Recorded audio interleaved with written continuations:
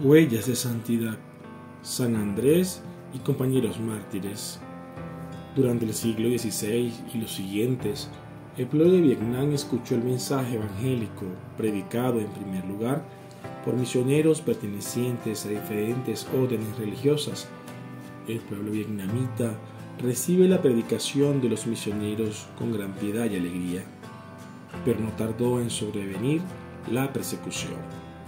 Durante los siglos XVII, XVIII y XIX, muchos vietnamitas fueron martirizados, entre los cuales se encuentran obispos, presbíteros, religiosos y religiosas, catequistas de uno y otro sexo, y hombres y mujeres laicos de distintas condiciones sociales.